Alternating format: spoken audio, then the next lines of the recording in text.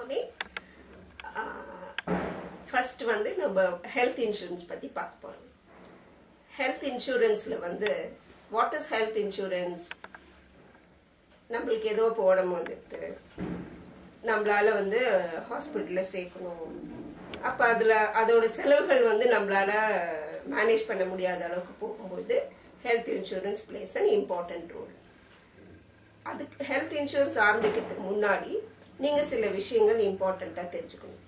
ஏன்னு கேட்டிங்கன்னா இந்த ஏஜென்சி எக்ஸாம்லாம் எல்லாரும் பாஸ் பண்ணிட்டு நாளைக்கு வந்து நீங்கள் ஆப்ரேட்டிங் ஆஃபீஸ்க்கு போயிடுவீங்க. அப்போ வந்து சப்போஸ் யாராவது ஒருத்தர் உங்கள்கிட்ட வந்து ஏதோ எனக்கு ஒரு பாலிசி பற்றி கேட்கணும் ஒரு பாலிசி பற்றி சொல்லுங்க அப்படின்னா வந்து நீங்கள் வந்து ஆ இதை பற்றி நம்மளுக்கு கிளாஸில் சொல்லித்தரல அப்படின்னு முழிக்கக்கூடாது. என்ன பண்ணணும் அப்படின்னு கேட்டிங்கன்னா உங்கள் ஆஃபீஸில் ஃபுல்லாக பாலிசி பிரிண்ட் ஆகும். அந்த பாலிசியை எடுத்து ஒரு நாலஞ்சு வாட்டி படிச்சிங்கனாலே அந்த ஃபுல் பாலிசி பற்றிய டீட்டெயில்ஸ் நம்மளுக்கு தெரிஞ்சிடும் ஒரு பாலிசியில் என்னென்னலாம் உங்களுக்கு தெரியணும் அப்படின்னு பார்த்தீங்கன்னா ஃபர்ஸ்ட் இஸ் திஸ் கவரேஜ் அந்த பாலிசியில் என்ன கவர் பண்ணுறோம் அப்படிங்கிறது உங்களுக்கு கண்டிப்பாக தெரிஞ்சிருக்கணும். அதுக்கப்புறமா என்னென்ன பெனிஃபிட்ஸ் அந்த பாலிசி எடுக்கிறதுனால என்னென்ன பெனிஃபிட்ஸ் வந்து நம்மளுக்கு கிடைக்கும் அப்படிங்கிறது உங்களுக்கு எக்ஸ்பிளைன் பண்ண தெரிஞ்சுக்கணும் பாலிசி கவரேஜும் தெரியும் பெனிஃபிட்ஸும் தெரியும். ஆனால் சில கண்டிஷன்ஸ் இருக்கும். எல்லா பாலிசிலுமே ஜெனரல் இன்சூரன்ஸ் பாலிசிஸ் ஆகட்டும் லைஃப் இன்சூரன்ஸ் பாலிசிஸ் ஆகட்டும் சில கண்டிஷன்ஸ் இருக்கும். டேர்ம்ஸ் அண்ட் கண்டிஷன்ஸ் இருக்கும். அதை வந்து உங்களுக்கு கண்டிப்பாக சொல்ல தெரியணும்.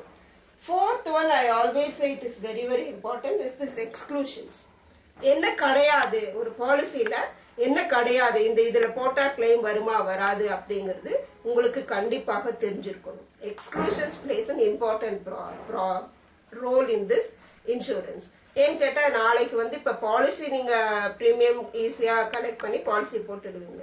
நாளைக்கு உங்க கிளைண்ட் வந்து எனக்கு இந்த பாலிசியில கிளைம் வருமா வராதா அப்படின்னு கேட்டேன்னா ஆ கொடுங்க பார்க்கலாம் நான் பண்ணி தரேன் அப்படின்னு சொல்லிட்டு உங்களுக்கே திரு திருன்னு முடிச்சுட்டு அதுக்கப்புறம் மூணு மாசம் கழிச்சு இல்லைங்க இந்த கண்டிஷன்ஸ்ல வராதுன்னு சொன்னா உங்க client will be very angry with so you should tell on the face of the seeing the papers இல்லைங்க இது இந்த இந்த கிளைம் வந்து கண்டிப்பாக உங்களுக்கு கிடைக்காது. நீங்கள் டயத்தை வேஸ்ட் பண்ணாதீங்க அப்படின்னு சொன்னீங்கன்னா he will be more happy then ஒரு மூணு மாதம் கழிச்சு இல்லைன்னு சொல்கிறது விட then of course f- final thing is the claims claims partல தான் உங்களுக்கு limitations cappings அந்த கான்செப்ட்லாம் வரும் now we will begin with the coverage of the health insurance policy